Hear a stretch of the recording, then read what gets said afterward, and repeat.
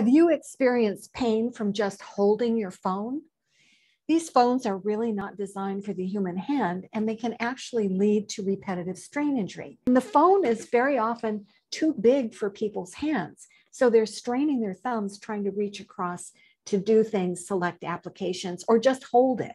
So if you're having pain in your thumb joint or on the top around here, or in this part of your thumb, it could be from your phone. So I'm going to show you a new tool that you can use to help you reduce strain on your thumb and some other tricks that will help you reduce pain and avoid injury. There's a new product on the market that could help you reduce some of the strain of holding your phone. It's called the MagSafe. It's a very strong magnet that goes on the back of your phone case. And it's so strong, in fact, that I'm having trouble getting it off. But here I can show you. This is the part that attaches to your phone case, and you do need to use a phone case with this. It goes right there.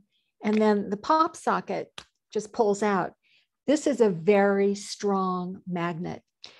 MagSafe tells you never to hold it like this, but I hold it like this because I'm in a carpeted space. If it if the phone fell, it wouldn't crack the face of it. So I'm really not too worried about that happening. And the fingers are naturally curved in this position. So there's very little strain if you're holding it like this.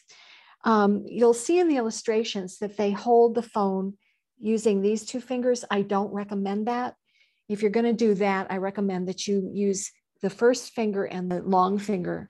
And that's going to be a little less stressful. That way, you don't have to use your thumb to hold the phone at all. So, this is one option for you but there are many. I suggest you know, pass it from hand to hand so that you're not constantly holding it with the same hand all the time. Using different hand holds, you can hold it like this, you can hold it like this, you can cup the phone and hold it like this. And all of these variations are going to reduce thumb strain. And you really, really, really want to protect your thumb from any kind of strain.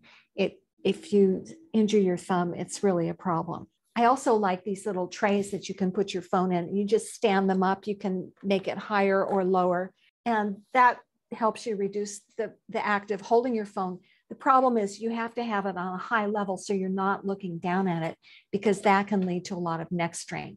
So if you're using one of these little trays, put it in position where you can look down and view everything with your eyes if you're on your speakerphone, of course, you don't have to worry so much about that if you're talking to somebody. But any way you can reduce holding your phone is what I would recommend because these tools are really not designed for the human hand.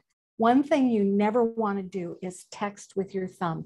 This is very, very dangerous practice, and it could lead to a really bad injury that could be hard to treat.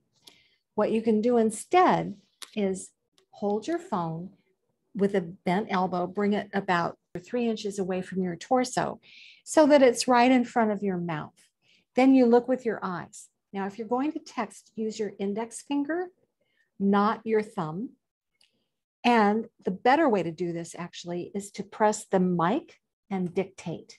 That's the safest way to text or send an email to someone. So that's what I recommend. And if you want more great information about saving your hands, look at the video that's coming up next.